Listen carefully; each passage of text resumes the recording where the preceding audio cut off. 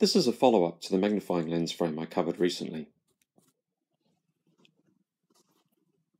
Cheap watchmakers' loupes come in different strengths fitted in a plastic eyepiece, this one being a 5 times power.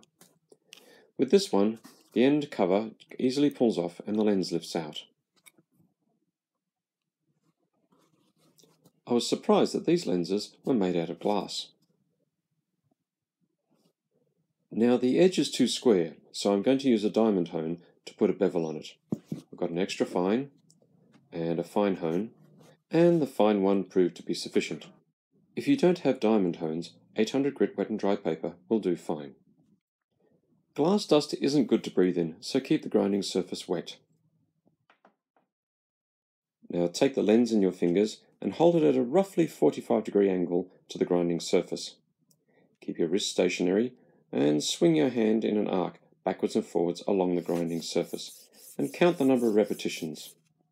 Once done, rotate the lens a small amount and repeat. I'm doing six sets of up and down, and doing the same number of repetitions means you will create a similar amount of bevel each time.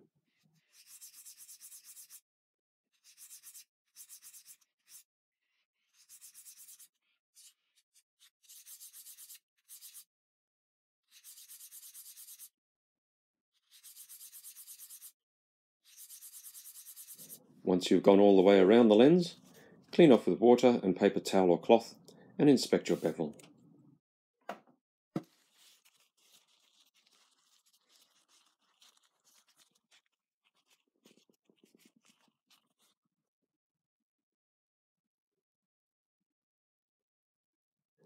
And here I had the bright idea to mark with a texter a start and end point to help me not get lost. Flip the lens over and repeat.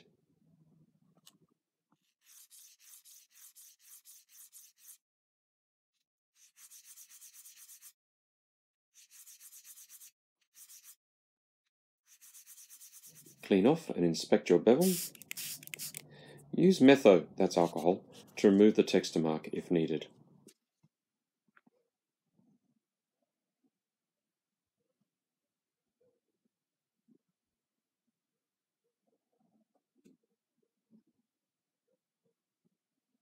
Now that I'm happy with my work, I take the wire frame I made in the other video and that I've trimmed to length and I put the lens dome side down on the frame and gently press it down into place.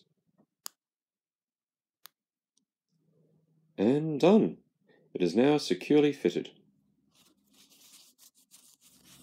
If you do need to remove the lens, push it through the frame, pressing on the flat side of the lens.